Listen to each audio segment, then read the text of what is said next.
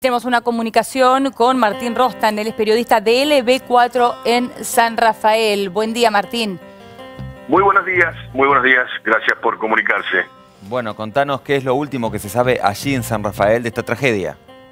Bueno, la información de último momento y la última, el último comunicado oficial de parte de la Fiscalía, de a cargo de la doctora Florencia de Diego, que atiende, está eh, de turno en este momento, eh, nos ha dado una lista de 15 personas eh, fallecidas, entre las que se encuentran varias personas de, poca edad, niños podríamos decir, en algún sentido. Y también la última novedad es que la Comisión Nacional de Regulación de Transporte emitió un comunicado en donde se da cuenta de que las dos personas que estaban eh, a cargo del colectivo, conduciendo el colectivo, Jorge Damián Pinelli y Jorge Pinelli, Jorge Damián, una persona mayor con un documento número 12 millones, y Jorge Damián, su hijo, con un documento 30 millones, estaban habilitados como choferes para conducir el colectivo. El menor de ellos, Jorge Damián, está en la lista de personas fallecidas, pero el tema es que ni este, el colectivo como medio de transporte no estaba habilitado. Su habilitación venció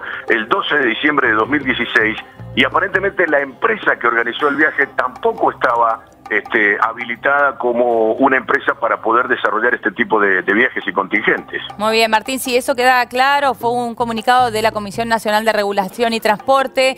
Este, volviendo al tema de los heridos, a los pasajeros que estaban allí, ¿qué se sabe de la situación de los 20 heridos que estaban todavía internados? Nos han dicho que cuatro de ellos estaban en estado crítico y de gravedad. Sí, Sí, correcto. Hay cuatro de ellos que tienen eh, un estado verdaderamente complejo. Hay que tener en cuenta que por eh, la violencia del trauma, eh, muchas de estas personas, y sobre todo estas personas que están en estado crítico, tienen graves contusiones eh, craneanas, mm. algunos con alguna hemorragia eh, eh, interna dentro de, la cabeza y bueno, esta, esta situación la hace muy compleja y por supuesto eh, crítica la situación de, todos ellos.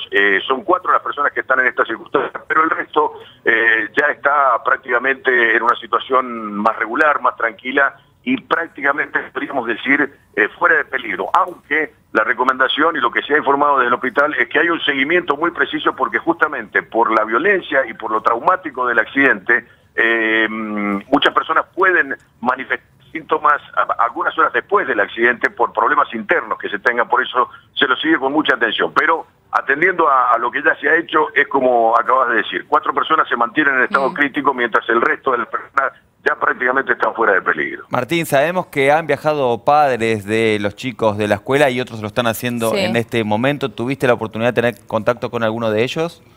No pudimos porque llegaron a San Rafael a las 2 de la mañana y automáticamente todo el protocolo, porque también hay que decir que la, la complejidad que ha tenido el protocolo incluye esta faceta también, la de atender psicosocialmente a las personas involucradas en el accidente, no solamente a las víctimas o a los heridos directamente que viajaban en el colectivo, sino especialmente a los familiares que llegan mm. para encontrarse con ellos. Tengamos en cuenta que algunas de estas personas eh, tienen que ir al albergue donde están hospedados los que ya fueron dados de alta y están fuera de peligro, otros deberán subir a los distintos pisos del hospital para encontrarse con sus seres queridos en la sala de clínica médica o de traumatología y lamentablemente otros tienen que ir a la morgue a hacer el reconocimiento de sus cuerpos, que en este punto hay que decir que el espectáculo que ofrecía el lugar era verdaderamente dantesco porque en el momento del accidente, por lo que ocurrió en la mecánica, donde aparentemente el colectivo ha derrapado hacia un lado y a otro, haciendo ese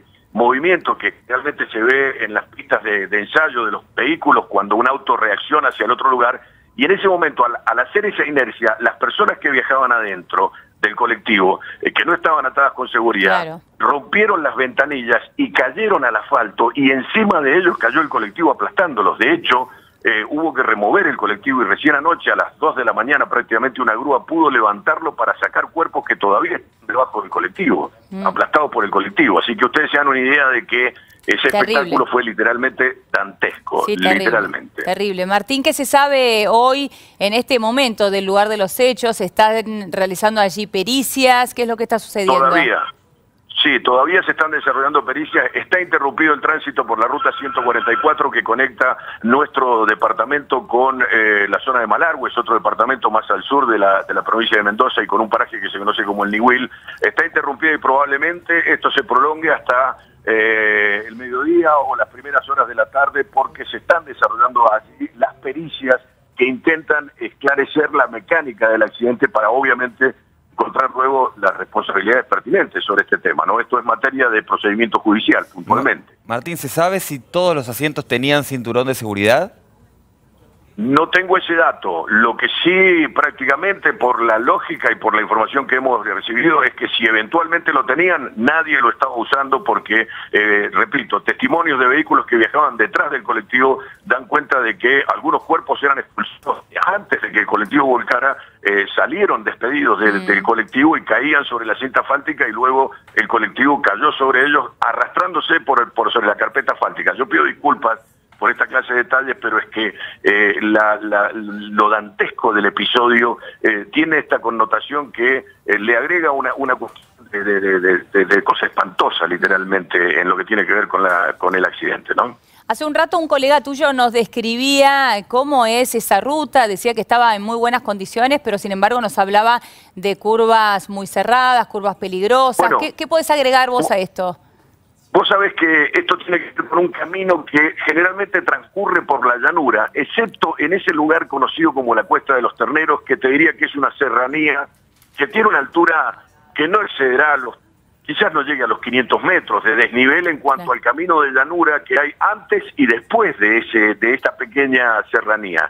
Supongamos que fueran unos montes que pueden llegar hasta 300 o 400 metros de altura. El punto es que para atravesar eso, el camino se vuelve muy sinuoso y es de montaña. Y en el sentido en el que viajaba este colectivo de regreso a la ciudad de San Rafael, la pendiente es muy, muy, muy pronunciada y con curvas muy cerradas. De hecho, mm. si ustedes ven las fotografías que están en, en todos los medios digitales, hay una línea amarilla pintada, continua, lo cual indica que no se puede sobrepasar en, ningún en ninguna parte de ese trayecto. Luego el camino hacia Malargüe y hacia el sur eh, continúa por una llanura que no tiene no tiene desniveles, es un camino muy muy recto, sin mayores curvas, sin mayores complicaciones, pero en ese sector, y estoy hablando de un recorrido que puede involucrar unos 10 a 15 kilómetros para, eh, cruzar completamente esa cuesta de los terneros que nosotros conocemos, ahí sí el trayecto se vuelve muy sinuoso, es típicamente camino de montaña y obviamente muy peligroso, sobre todo para quien desciende con un colectivo de gran porte como este que ocurrió. Ahí está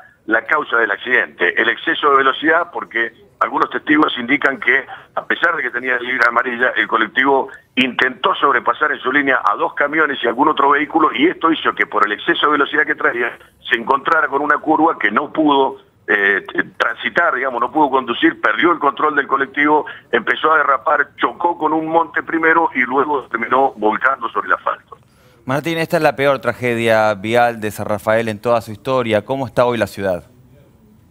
Bueno, la ciudad está conmocionada. Con decirte que, por ejemplo, ayer, y contarte nada más que un, un rasgo, si vos querés, anecdótico de la circunstancia, obviamente con el triunfo de Boca Juniors y el campeonato obtenido por, la, por el Club de la Ribera, Aquí también los simpatizantes de Boca salieron a festejar y como siempre ocurre se congregaron del kilómetro cero de la ciudad, este, interrumpiendo lo que es un cruce neurálgico de la ciudad.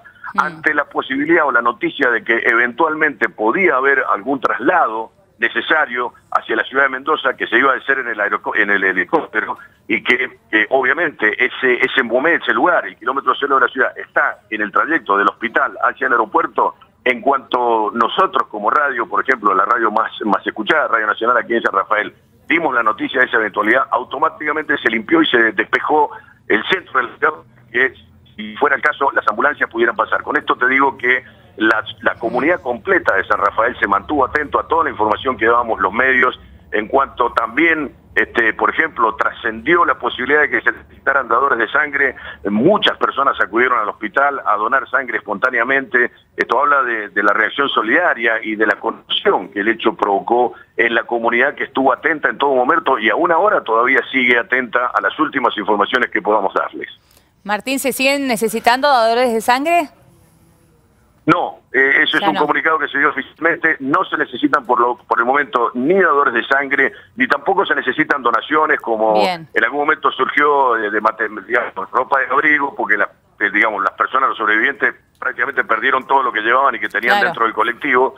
Eh, pero no se necesita nada de eso. Por el momento está todo satisfactoriamente cubierto. Hace un ratito dábamos un parte médico oficial. ¿Se sabe cuándo habrá otro? Estimo que en algún momento más, porque estaban esperando la llegada de la ministra de Salud, que ya está en nuestro departamento, pero que todavía está reuniéndose con eh, las autoridades y seguramente recabando más información.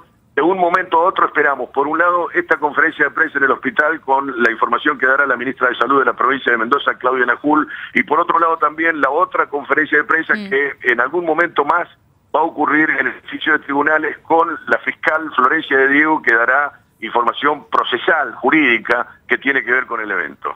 Bueno, muy bien, este Martín, hasta allí entonces toda la información de esta tragedia que está no solamente enlutando Mendoza, sino a la Argentina en general.